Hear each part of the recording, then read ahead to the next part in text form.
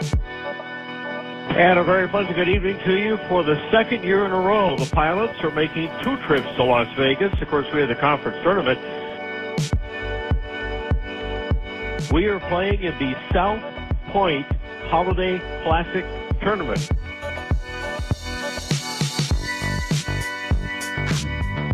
Wake up every morning, go to breakfast with the team, have a set schedule every every morning, every day. See how they're all equal? Know your responsibilities. This is exactly what we were working on. It's Friday, it's game day. We got Bradley tonight. Go Pilots. You alone. Hello, hello.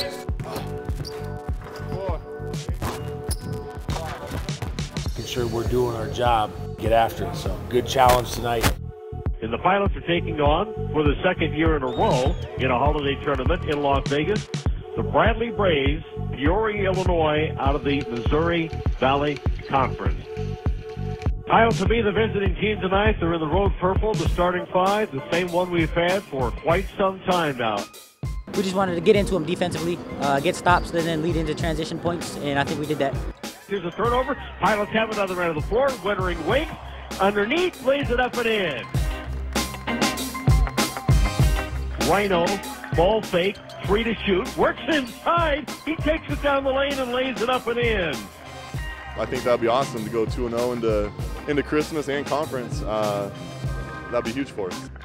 And the Pilots going to win this ball game by 21 points going away. And a nice round of applause for the Purple and a well-earned win. Just getting taped, getting ready for Princeton tonight.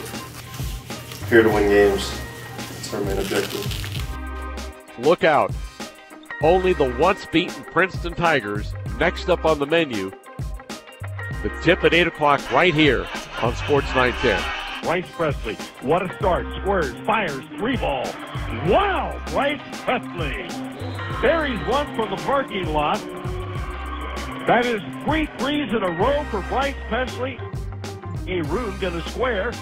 Gonna fire and Boldy hits a three from the top of the key. Nobody comes out to cover him.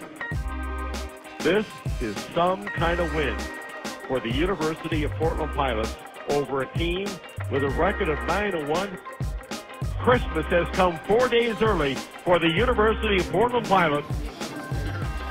We wanted to go 2 0 into, into Christmas, into conference, and that's exactly what we did. As they defeat the Princeton University Tigers out of the Ivy League by a final score of 93 to 79.